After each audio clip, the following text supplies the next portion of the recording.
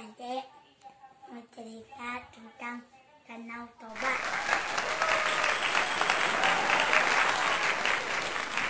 Ada laki-laki namanya Toba. Dia petani. Sering mancing dapat ikan dimasak. Eh, kalau gak dijual dia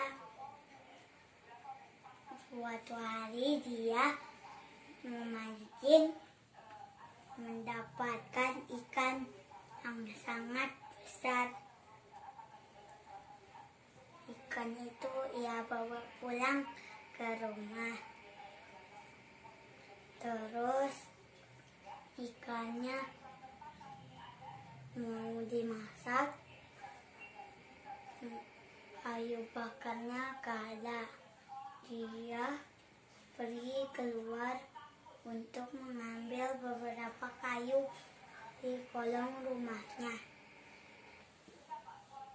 Setelah dia mengambil kayu, dia masuk ke dalam rumah melihat ikan itu sudah ada di dapur.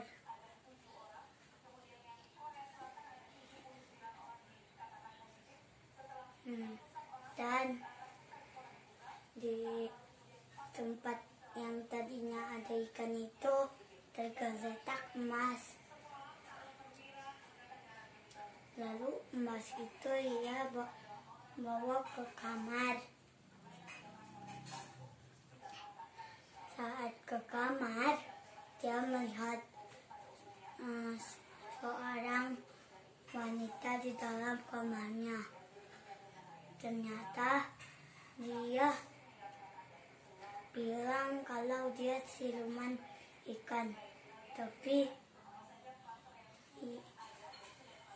uh, perempuan itu bilang harus bersumpah kalau tidak memberitahu warga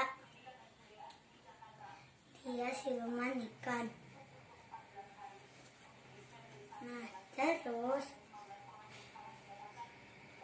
mereka menikah dan mempunyai anak yang bernama Samosir. Anak itu pemalas, tidak mau disuruh orang tua.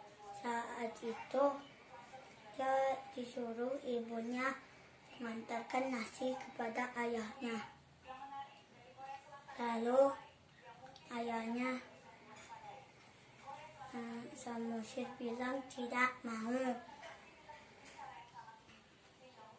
hmm, dipaksalah Samusir untuk pergi di perjalanan Samusir menghabiskan makanan itu yang tersisa setelah sampai hanya sisa-sisa makanannya.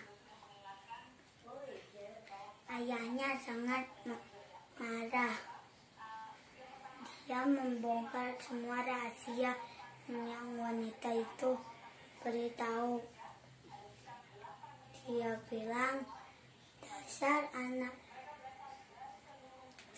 saat Samusir mengaku, dia jangan marah. Lalu dia membongkar semua yang dirahasiakan dia dan wanita itu. Dia bilang, dasar kau si anak siluman ikan. Lalu hmm, Samusir mengadu sambil menangis kepada ibunya.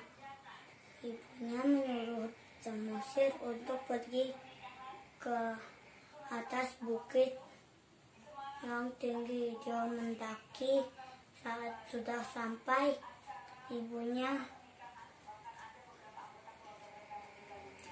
berenang di sungai, lalu berubah menjadi seekor ikan yang besar.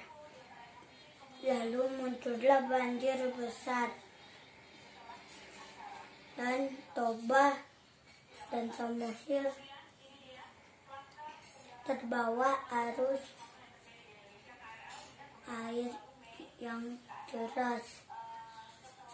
Saat itu mereka menjadi danau, disebut Danau Toba dan di tengah-tengah itu ada pulau diberi nama Pulau Samosir.